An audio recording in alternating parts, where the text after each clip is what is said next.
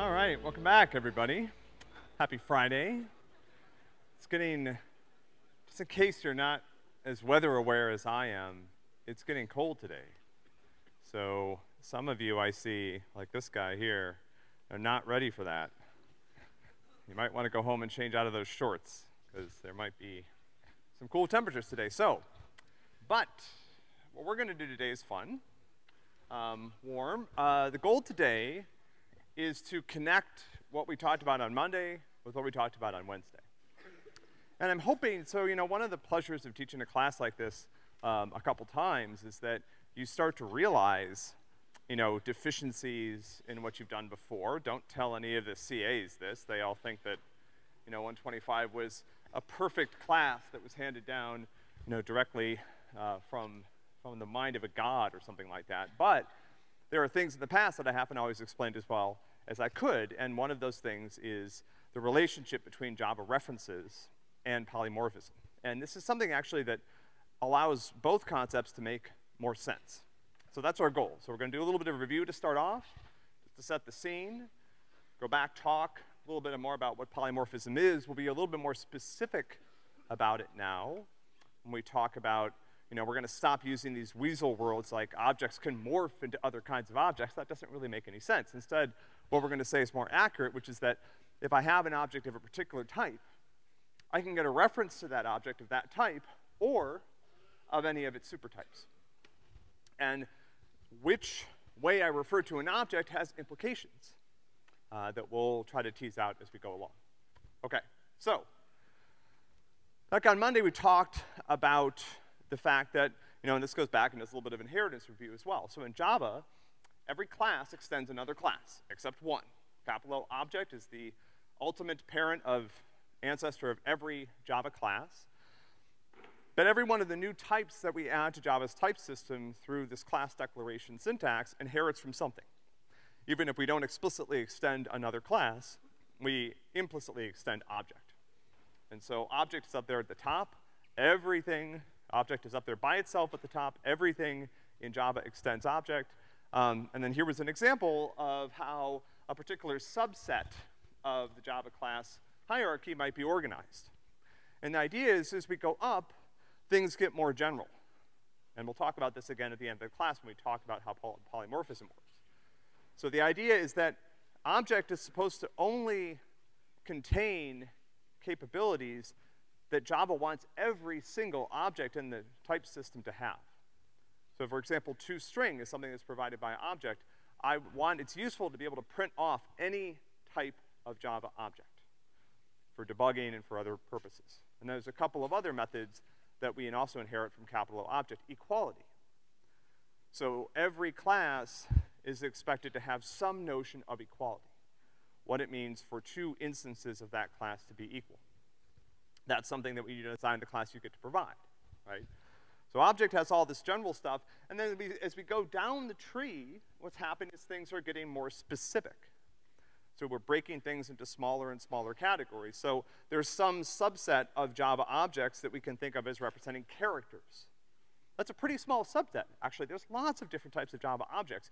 You guys are working with some on, on the machine project. Those have nothing to do with characters. Think about all the different types of data, all the different types of entities that we can represent in our computer programs, characters are a tiny, tiny little subset, okay? So already by going one, you know, level down the tree, we're talking about a much, much more specific set of things. But even among characters, there are divisions. There's different kinds of characters. So I'm dividing these into digits and letters, right? And you can imagine that those different characters might have different capabilities. So, for example, every character uh, might have a certain type of capability, but digits and letters might have different ones. And then I can further subdivide letters into vowels and consonants. If you're talking about a particular language system, other language systems might have different subdivisions here. Um, so again, as we're going down the tree, you know, we're breaking things into smaller and smaller categories. Java's class system is categorical. Everything is an object, but then some objects are characters and some are not right? And if there was another, like a string over here, right? Some objects are strings and some are not, okay? Some characters are digits and some are letters. According to this diagram, those are your only two options. Now again, that may not be exhaustive. You may need to have other classes over there. And then some letters that are not digits are either vowels or consonants. Again, that may not be fully exhaustive. But as we go down, we're splitting things into smaller and smaller categories. And I'm gonna come back and talk about this at the end of the class, but one thing I want you guys to notice is, as we go down, we know more about the object that we're talking about. Putting something into a category means that we understand something about it, right? Once I take a character and I uh, determine whether or not it's a vowel or consonant, whether or not it's a letter or a digit, that requires knowing something more about that character. So as we go down, we're obtaining more information about the object that we're working with. But we're working with a smaller and smaller subset of, of the overall object tree. So again, some tiny fraction of Java objects are characters. Some fraction of those characters can be considered to be consonants, but those consonants themselves represent a tiny fraction of Java objects. So as I go down, I gain more information, and I can be more specific. As I go up, I gain more gener generality, but I lose information. When I get to the object level, I don't know anything about that Java object. It could be a character, it could be a string, it could be a pet, it could be one of the uh, main activity classes you guys create for your MP, who knows? All I know about it is uh, just a couple things. I can call toString, I can call hashcode, I can call equals. There's a few of those methods that everything has, okay? So, as a reminder, some of this I'm gonna go through quickly. If I don't extend another object, I extend object. Everything extends object. And so there's this small number of methods that every object in the Java object system is going to have. And again, go back to what we just said. These are methods that have to work for any kind of Java object. Any type of data that you can think about working with, any type of you know, entity in your program that you want to represent using a Java class has to have these features. And so whatever we put on object has to be extremely general. Okay? Everything has to be able to support this. There are certain things that objects, and we'll come back when we talk about interfaces and look at uh, certain things that Java objects don't provide, because not every class can support them, right? But the things that are on Java objects are things that everything has to be able to do. So every Java object can return a string representation of itself. We've seen the fact that that string representation is not always that useful, it can do that. Every Java object can compare itself to another Java object. By default, that comparison is not very useful, but you can make it more useful by overriding the method in your class. And there's this thing that will become a lot more fun once we get to maps at the end of the semester. Every Java object can return an integer that's supposed to be a unique representation of its contents. We'll see why that's helpful later. Normally, the default versions of these that are provided by capital object are not very useful, and so when we design a class, we override them. We override toString, we override equals, we override hashcode, and we make them work in a way that's appropriate to our class. So when you design a Java class, you get to decide what it means for your class to be equal to another class. Another object, sorry, for two instances of, for an instance of your class to be equal to something else. What does that mean? It's up to you. You get to write that method. Okay, so when, so this hierarchy is used by Java when it tries to find variables and methods to either access or to call. So when you use dot notation, this is what's happening. You're telling Java, you know, look for a method or a variable with this name, and the way this works is Java starts, and we're gonna, we're gonna see this in a minute. So Java starts at the type indicated by the reference that you are using. This is what's important. This is the connection between references and polymorphism, and, and we're gonna make this a lot more clear in a minute. So it starts with the reference type, and it says, does the class have a variable or a method with that name? If it does, that's what gets used. If not, I look in the parent class. This whole search, and I, this is a little bit inaccurate, this whole search is also guided by these uh, visibility modifiers. So if you have a private class named toString, it doesn't get used when I call object toString. That has to be public so that I can call it outside of your class. So the visibility modifiers also guide this search. And essentially, I just keep going until I either find a method or variable with that name, or I don't, in which case it fails. And this is a compile error. This is not a runtime error. The compiler will actually tell you, you know, your code didn't compile because you told me to call this particular method using dot notation, and I couldn't find it, right? It didn't exist on your class or in any superclass, right? So, you know, and we talked about this before, so here, and, and now we can be more specific about this. So now I'm creating an instance of my sweet old dog class here, and I'm saving it in a reference variable called choo-choo that stores references of type sweet old dog, right? And then I essentially print choo-choo, and I don't, you know, I, I don't explicitly have to use toString here. I can get rid of that. This is gonna work the same way. Print will call toString for me. So what happened here? So when I called to, when I called toString, when println called toString on this object reference, it started in sweet old dog, and it said, does sweet old dog provide a toString method? No. Then it looked in old dog, then it looked in dog, then it looked in pet, then it looked in animal.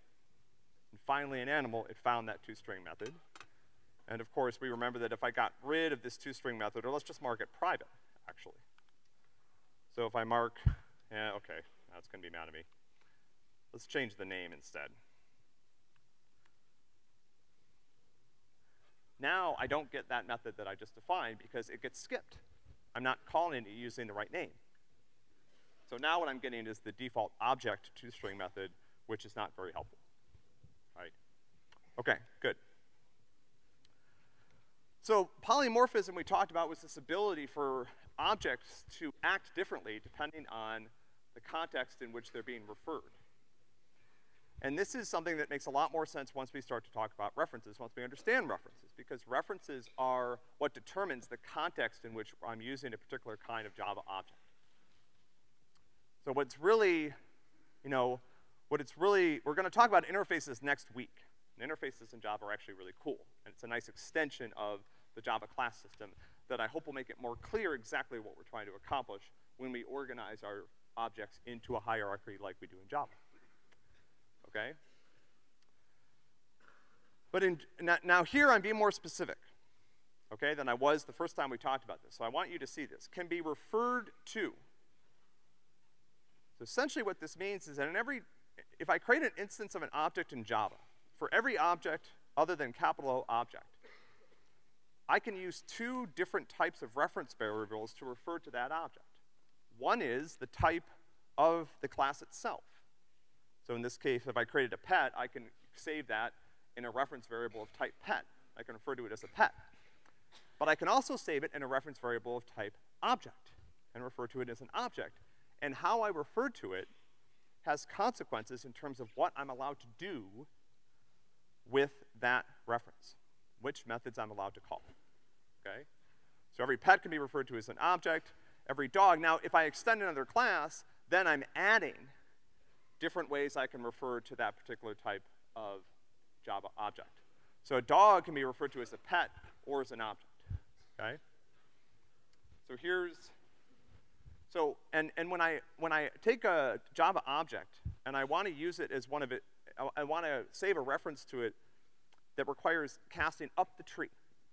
So for example, here I'm creating a, a dog and I'm saving it as a dog and I'm creating a pet and I'm saving it as pet. But when I pass them to print anything, I'm, print anything is taking an object. And Java is doing that for that me automatically. Okay? This is probably a better, let me show you it this way, okay? So I can do this. So now on line nine, I have a reference variable of type dog called choo-choo.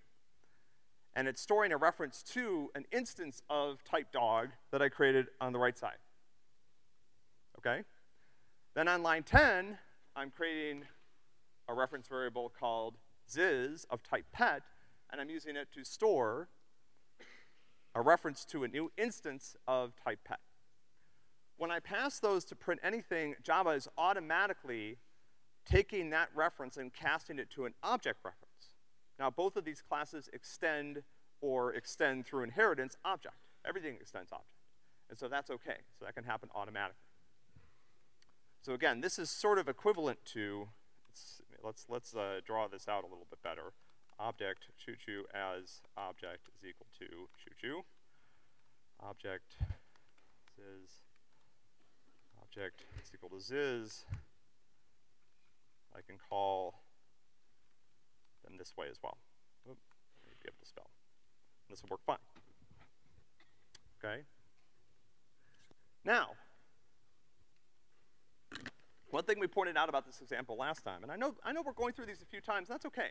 This is slippery stuff. I, guess, I want you guys to see this a few times, have a chance to ask questions, and so this can start to solidify in your mind, because this is tricky. You know, per, from a programming perspective, is this hard? No, it's not. But this is one of the, uh, this next week, I would argue, is probably one of the trickier conceptual parts of the class. We're thinking about objects, their relationship to each other, how we refer to them has implications for how we use them and things like this. This is, this is tricky stuff. So even though the code doesn't look hard, there's no algorithmic challenge here, there's a conceptual challenge going on. Okay, so what am I doing here? So on line nine, I'm saving a reference to an instance of dog in a variable that saves a reference to dogs, and then I do the same thing on line 10 except with pets. And then on line 11 and 12, I upcast those references to object. So I'm creating a new reference variable called choo-choo as object, and I'm using it to store a reference to choo-choo. Now that's gonna be the same reference as, it's gonna, sorry, it's gonna refer to the same object. There's only one dog that I've created. Remember, if I don't see new, I haven't created a new object. So I've only created one dog. Okay? I've only created one pet, but now I have four different references. Choo-choo is a reference of type dog, pet is a reference, ziz is a reference of type pet, and then I have choo-choo as object, which is a reference of type object, and I have ziz as object, which is a reference of type object. So now I'm passing those object references to my print anything method. That's essentially what happens if I call print anything and I just pass it, you know, choo-choo and ziz directly. So this is sort of what's happening behind the scenes. Okay, and again, I should get rid of all of these spurious toString calls. That's gonna work fine. But here's the thing to remember. Even when I pass a reference of type object to this method, clearly Java still remembers that choo-choo is a dog. It knows what class the object reference actually refers to. It knows as the class type because it's finding the toString method that I overrode in dog.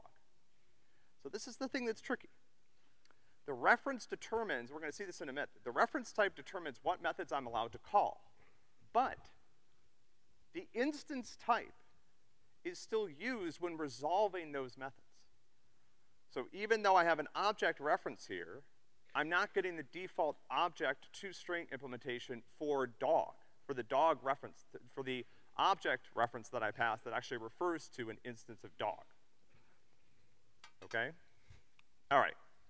And again, this is sort of what this slide says. Instances retain their types. I still know what type they're. Okay. So then we talked, uh, you know, then I just want to point out that I can also downcast instances. So on line nine, I'm creating a dog on the right side, but the reference that I save it into on the left side is a reference of type object. But choo-choo still refers to a class that has type dog. And so if I want to later, I can downcast choo-choo to be a pet. Or sorry, yeah, downcast. So I could I can create a new reference over here called choo-choo as pet that's of type pet. This is a reference variable. And I'm taking my object reference and I'm downcasting it. So the upcast will happen automatically. I don't have to do an explicit cast. The downcast does not happen automatically. I have to put an explicit cast here on line 11. And the reason is that this can produce a problem. This can produce a runtime error if the downcast is incorrect, right? So let's see, let's make sure this works. If I do, you know, so I created I have an object reference on line nine. I downcast that to a pet. I can do that because Choo-Choo is still is a dog, and so he can still be referred to as a pet. And then on line 13, I downcast all the way to a dog, which I can do because Choo-Choo is a dog. Okay, so let's change this a little bit. What's gonna happen now? So we'll run the code in a minute, but let's just think through what's going to happen here. On line nine, I'm creating, what, what type of object is being created here? Okay, remember, when you, whenever you ask that question, you look over here. You look at what's to the right of new. That's the type of object that's being created. I may refer to it in a variety of different ways, but the type of object that's being created is a pet. It'll always be a pet. It's never gonna change. I've decided to refer to it as an object on line nine. So that is doing an automatic upcast. It's taking what is returned from the constructor, which is a reference to a pet, and it's upcasting that reference to refer to an object, which I can do because everything extends object. Okay? Now on line 11, I'm downcasting that to a pet. So I have my object reference, and I want to refer to it as a pet. We'll talk about in a minute why I would want to do this. Is this going to work? Is the object actually a pet? It is. It's still a pet. That's what was created on line 9. Where is this going to fail? Yeah. Yeah, so right down here, this is where I have a problem. So up till here, I'm fine. But now I'm trying to refer to this pet as a dog. And I can't do that because dog extends pet. So I can't create something that was created as a pet and refer to it as a dog. Okay? Let me, let me give you an example of why. Let's imagine that my dog method has a, we're gonna come back and see this later. So imagine that my dog class has a method called woof, which prints to the console. Okay. All right, and now here's what I'm gonna do. Let's call choo-choo as dog.woof. Okay. So I added this method, this woof method, to my dog class. Pets don't have a woof method. Not every pet can woof. Only some can. Okay? So now let's go back and replace this with a pet see what happens. As promised, I get this runtime error, a class cast exception, and it's being generated by on line 16 when I perform this cast because I can't take something that I created as a pet and now cast it into a dog. One of the problems with doing this in this example is that my pet objects don't have a woof method. So I can't call woof on them. They don't know how to woof. Only dogs do. Questions about this before we go on? These are the kind of places where things start to get a little slippery. Okay, let's go on. So Java, so you might wonder, how do I do this safely? right? I just saw an example where something broke. Java provides a way for you to test whether or not a class is of a particular type. So I can say instance of, if, uh, you know, choo-choo is an instance of, you know, instance of will tell me essentially if that an instance of a particular type of, of, uh, of class, okay? Now, one thing I want to point out, all right? Let's replace this. So I did this last time. Okay. Yeah, so this is a compiler. Because the Java compiler is actually smart enough to figure out here that choo-choo was created as a dog, even though I'm referring to it as a pet. But choo-choo has no relationship with string. And so the compiler will actually fail here. So the compiler is still helping us. The compiler can actually suss out certain relationships between classes. I don't want to go into this in too much depth because it's, it's subtle, but, um, but in this case, I'm actually getting the compiler, which is what I want right? Now, if I use dog, I'm gonna, it's gonna work properly. The idea is if the compiler knows that choo-choo can never be an instance of a particular type, it won't even compile my code. It'll just, you know, generate that error message and force me to fix it. Okay. So we've been using this terminology, but again, just some quick review of reference variables. So we're gonna, now we're gonna refer to these variables in Java that store objects as reference variables because what they actually store isn't the object itself. It's a reference to the object.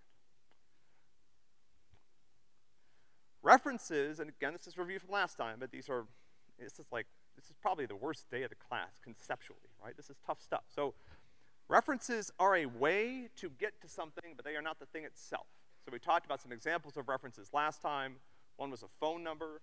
The phone number is not the phone. I can make lots of copies of the phone number.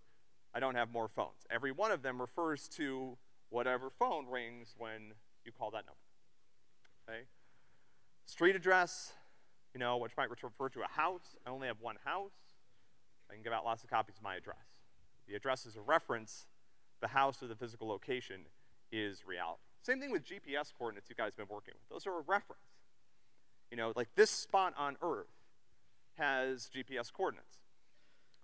It's, the GPS coordinates are not the spot. They're just a way of referring to it. They allow you to get here. They don't, you know, and also there's a bunch of different ways of referring to this spot. I could use a different coordinate system, for example. Social security numbers, you guys are aware of these. I mean, your life is now sort of, um, in many ways, defined by some of these references. You guys have an email address, right? An email address is a way that people can send you mail. That email address is not you, it just refers to a particular email account. All right, so now here's where we're gonna bring these two ideas together. Polymorphism and references. Because now we're gonna be really crystal clear about what's happening when we're creating Java objects and saving references to them. In that statement, so if I look at the statement on line five, okay? Dog choo choo is equal to new dog. It's a new sound.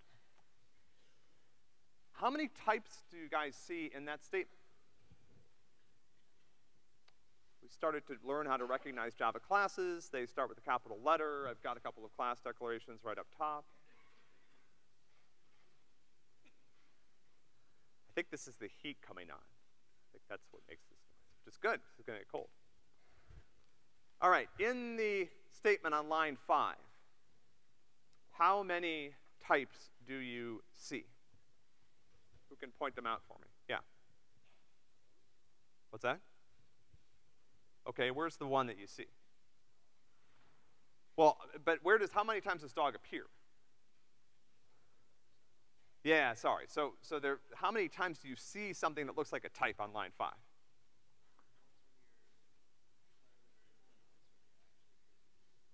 Right. So I see dog twice. I see dog on the left side of the assignment. That's the reference type. That determines the type of the reference variable that's gonna store a reference to whatever's created on the right side. Then on the right side, I see new, and then I see something that again looks like a class name or a type. Now in this case, those two things are the same, but they don't have to be. Here's an example where they're not on line six. So now on line six, let's talk about what's happening. So now I'm creating a dog. I'm creating a new instance of type dog. The instance type is what follows new. It's on the right side of the assignment. And if you don't see new, you didn't create anything. So I've created a dog, but I'm gonna refer to it, the reference type is an object. Okay, so the reference type is on the left side here. So this statement says, I'm creating a variable called choo-choo as object, and that variable can actually store references to any Java object, which is anything, except for those eight primitive types, right? Any Java object. What I'm initializing it to is to store a reference to this new dog that I've created on the right side. Again, now we can be very precise about what's happening. I have an instance type, which is on the right that determines what kind of object I'm actually creating. And then I have a reference type on the left. And what that does is it actually determines what types of objects that variable can refer to. So choo-choo can only refer to dogs or anything that descends from dog. Choo-choo as object can refer to objects and anything that descends from object, so anything, okay? So now I can, I don't have to create a new um, you know, we talked about reference variables, so somebody could copy references. I don't have to create a new object in order to create a new reference variable, so on line seven, I'm now creating a new reference variable called pet. That reference variable can store anything that's of type pet or its descendants. And so it can store choo-choo because choo-choo's a dog. That refers to the dog that I created on line five. And then I can also downcast things if I'm doing things properly. So now, choo-choo on line eight, so choo-choo is a reference variable of type dog. It, can, it has to refer to something that's a dog. The object reference variable that I created on line six actually refers to something that's of type dog. And so here I can do this safely. Oh, sorry, I don't know what happened here. This is supposed to be on the comment. So this is choo-choo is equal to uh, dog, so I'm downcasting this reference variable. And that's the reason that the downcast is unsafe, because it's possible that that object reference could store a reference to a string, at which point I wouldn't be able to do this and it's going to fail, okay? So, so again, now we're being really precise about this, and I think this is gonna help us. Instance type, the thing on the right side of the new keyword. That's the kind of type of object you actually created. It does not change, ever. Reference type is the type of the reference variable that we're using to refer to a particular type of object. And that can be the instance type. So if I save, to save something into a reference variable, that actually, the object that it actually refers to has to either be the same type or a descendant of that type. So if I create a reference of type object in the Java object system, I can store anything, any Java object, okay? So here's, so here's where this comes into play with polymorphism. Because in Java, what happens is the reference variable is what actually determines what type of instance variables and methods we can access. You might be wondering, like, who cares? Right, well, here's where this gets cool. Because again, when I create a reference variable of a certain type, the type of the reference variable is what's determining what methods I'm allowed to call. Right, so let's see a, let's see an example of this. Okay, so this is from, this is actually from the cover slide, right? All right, so let's go through this slowly. This is, you know, this is a, uh, this is kind of designed to be, you know, hopefully a good motivating example for this. Okay, so line 18, something that looks very familiar. To us. I create a reference variable of type dog, and I use it to store a new instance of dog. Now, actually, sorry, I need to go up and review what's happening up top here. So I've actually added some appropriate capabilities to my classes here. So my pet class, talk about abstract in a minute. Um, my pet class has a get owner method. So every pet has an owner. Seems reasonable to assume. My dog class adds a bark method. So it inherits get owner, but it also adds a bark method because dogs can bark. My cat class adds a meow method because cats can meow. Kind of a silly example, but there it is. Right? So, now down here. So on line 18, I create a reference variable called choo-choo, and I create a dog. There is only one object that we're working with through this entire example, and it's created on line 8, and it's a dog. Sorry, it's created on line 18, and it's a dog. Okay? Let's keep that in mind. Choo-choo never stops being a dog throughout this entire example. The only thing that changes is how we refer to choo-choo. Okay, so on line 18, I create a variable called choo-choo that is referring to choo-choo as a dog. The reference variables of type dog. With that reference variable, I can call methods that are defined on dog, like bark. I can also call methods that are defined on any of my parent classes. So I can call get owner, and I can call toString, which is what's gonna happen when I run line 21. Println, so just in case you missed this, println calls toString internal.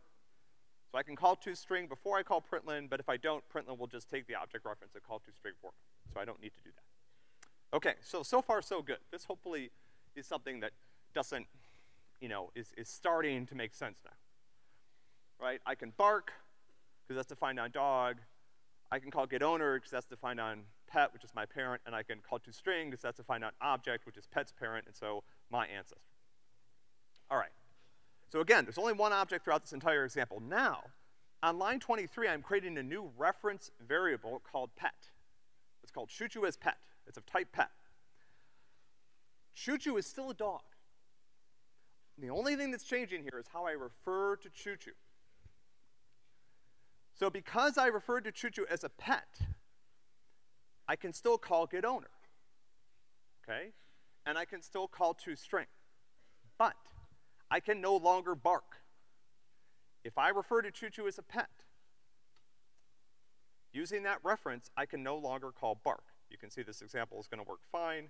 If I try to run this now, it says cannot find symbol, which is weird. Again, Choo Choo's still a dog, never stops being a dog. There's one object working with throughout this entire example, but because I refer to Choo Choo as a pet, I can no longer call bark.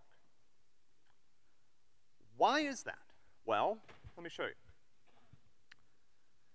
What if instead of just getting a, uh, using a different reference to refer to my same dog object, I instead have my pet reference, and now I should change the names, but I'm not gonna do that. Choo Choo will be offended that I'm referring to, that he's a cat for a couple of lines, but he'll get over it. Um, my pet reference variable can store a reference of type cat, because cat extends pet. But cats can't bark. Right? I can't call woof or bark on a cat. Now, I can't call meow here either, even though my reference variable is a cat. Sorry, my object is a cat, because my reference variable refers to pets. So the only things I can do with my pet reference variable are things that I know I can do with any kind of pet. And that's stuff that is either defined on pet or inherited from whatever pet inherits from. So in this case, that's toString and other things. Okay, so let's get rid of this broken one. And now let's look at the final instance of this, where I refer to, uh, now I take Choo Choo, who is still a dog. Choo Choo has never stopped being a dog, but now my reference variable, Choo Choo as object, is of type object. And now I can only call methods that I know I can call on any object. So I can't call bark, because not every object can bark. I can't call getOwner, because not every object has a getOwner method. I can only call toString equals hashcode, those kind of things, okay? And again, you know, if I try to put one of these back, you're gonna see I get the same problem. The reason for this is the same as it was a minute ago. Let's say I create a string. So instead of my object reference storing a dog, it now stores a reference to an object that's actually a string. Strings can't bark. Strings don't have owners. I can't print them. So that's all I can do. Okay. Any questions at this point before we go on? Again, if there was, you know, last time we got to the array reference example and I said, this is what you need to understand to convince yourself that you've got today. This is what you need to understand to convince yourself that you've got today. Right? But again, hopefully this brings these two concepts into closer relationship with each other. All right, let me pause here for a minute. I feel like I've stunned people into submission questions about this before we go on? All right, so we've put a lot of cart in front of our horse um, today, but let me talk a little bit about why we do this. Why does do Java's reference variables and work this way, and why does polymorphism in Java work the way it does? Someone came to office hours yesterday and asked this question, and Wednesday and asked this question. It's a great question, okay? Okay, so here's why.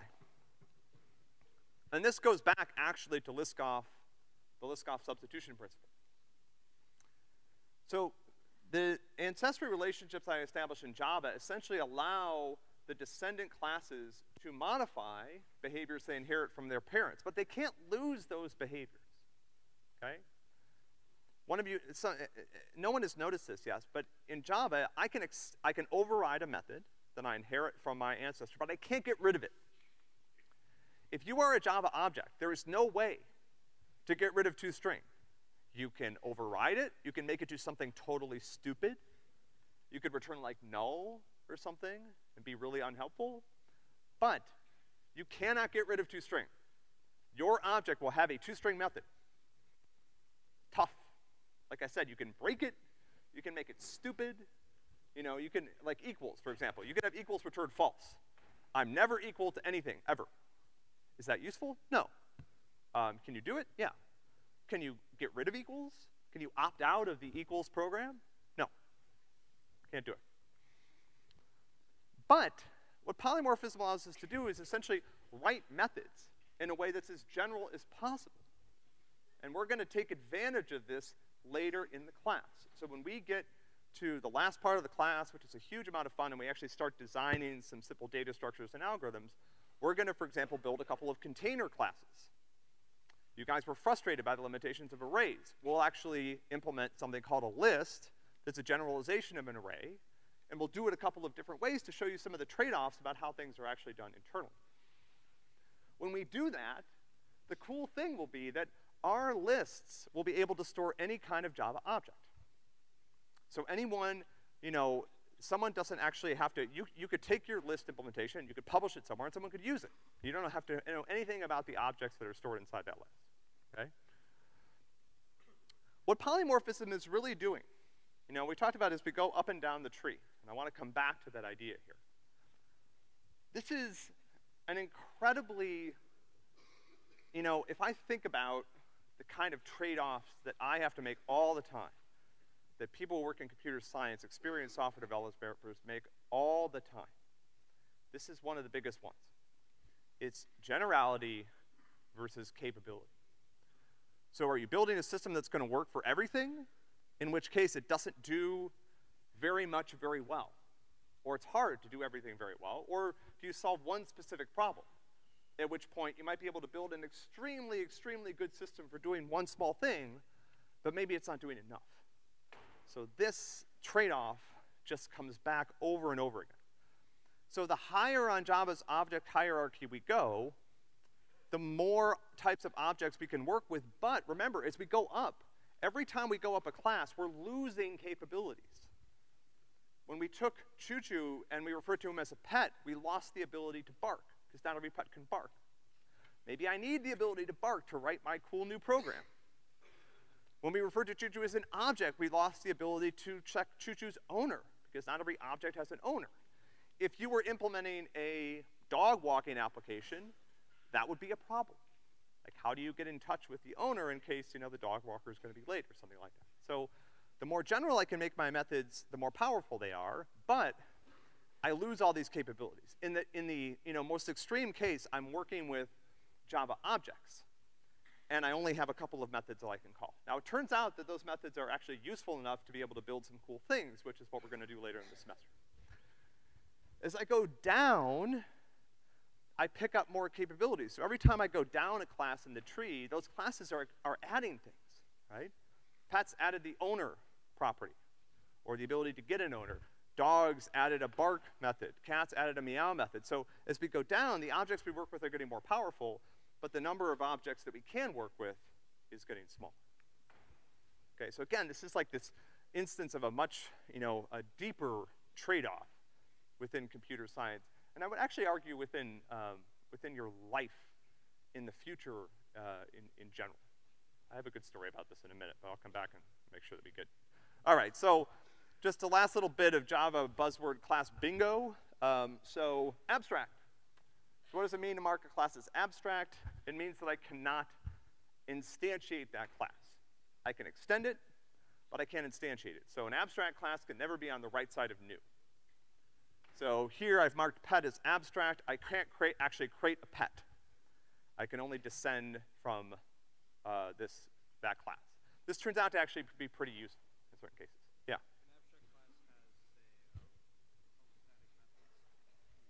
Yeah. Yeah, so the question was if an abstract class defines methods, can I use those? Yeah, absolutely. So an abstract class works just the way a normal class does. If I extend it, I inherit all of its behaviors and stuff like that. I just can't ever create one. Yeah. No. You can create an object. You wanna do that? We've never done that before, it's kind of fun. Let's see. Let's create an object. Has an empty constructor. There you go. It's not super useful. You cannot create math. That's a good question. So math is, I think, both abstract and final. Yeah. Yeah, so I can't actually run the constructor. It's private access. All right. Oh, okay. Let me, we might talk about this on Monday, but, um, so someone asked about this before, and I want to just mention it quickly. So private classes. Someone asked, can I all these classes, you guys have certainly gotten used to this. Hopefully you're getting good at typing public, public class, whatever. But I create a private class. So, and the short answer is no. You cannot create a, in Java, in Java, a class cannot be private, okay? Because you'd have the following problem, right? How can anyone use a private class? So in order to use the class, I have to be able to create one. In order to create one, I have to call one of its methods, the constructor specifically, and if the class is private, I can't call any of its methods, okay? Now, here's what you can do. And this is not, we're actually gonna use inner classes a little bit in the future, so you will get comfortable with them.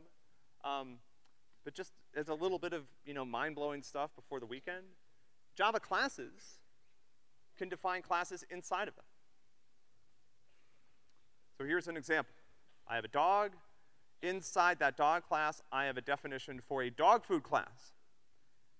Within my class, I can use that dog food class. I can create it just like it's any other class. This works fine. Um, and I can also mark that class as private if I want to. So for example, if I don't want anyone else to use my special dog food class, I'll mark it private, and this works. Okay, any questions about, oh, okay. I am tired after talking about this, so I can only imagine how you guys feel after listening. Yeah.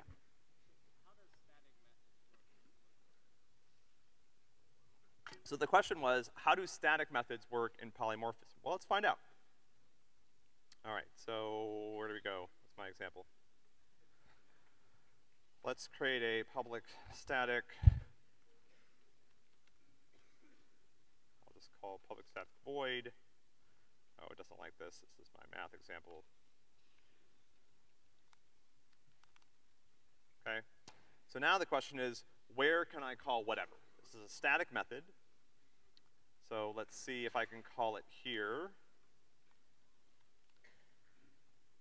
That seems to work. Let's see if I can call it here.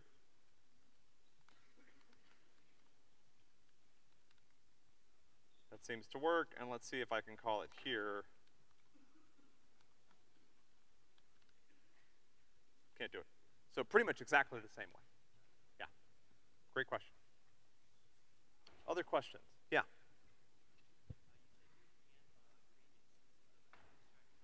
Yep.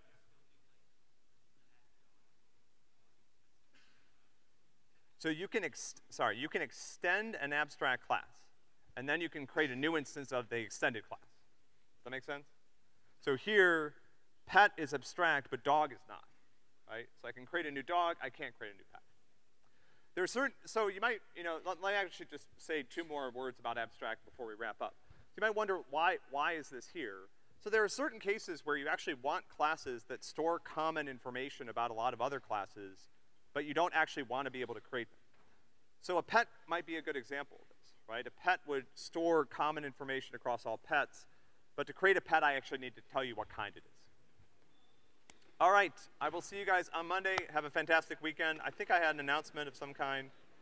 Uh, nope, there it is. Um, remember that we have office hours today till 8 p.m. Um, and no Wednesday office hours from this point forward. I'll see you guys on Monday. Stay warm.